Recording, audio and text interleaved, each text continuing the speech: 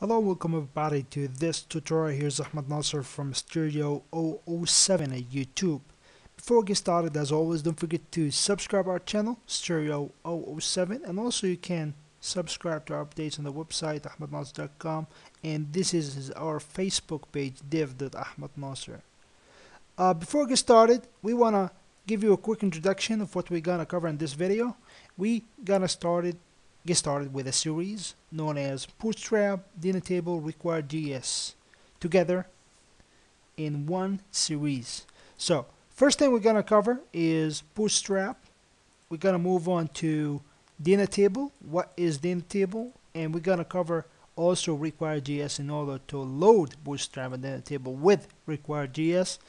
And we're going to cover a practical example in using Dynatable with Bootstrap together in a PHP. So here you can type, um, you can do pagination, you can do um, per page numbering on counting, you can do navigating next previous. You can also do search for le dot. You got this email this email. So we're gonna do all that. We're gonna know also how to use um, um, pagination for not only table for list pagination for devs pagination for whatever you want. Show six items per page. You're gonna show something. Similar to this we're gonna cover how to do this.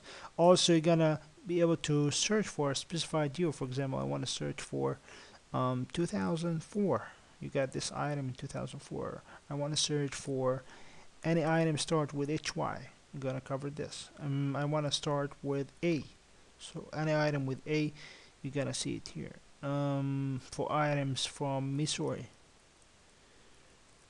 You got it this. So th we gotta cover how to do this using Table and Bootstrap.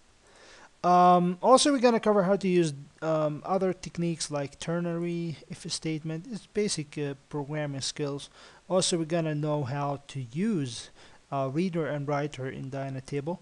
And also I gotta show you finally here is the source code for this series that we're gonna cover. You can find it here on github Ahmad Naser required JS jQuery Dynatable styling bootstrap version 2 so you can get started with us. Don't forget to subscribe to our playlist.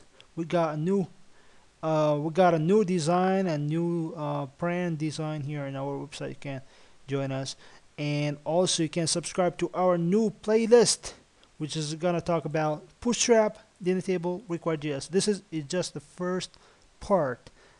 Okay again I'm saying thank you for watching and see you in the next part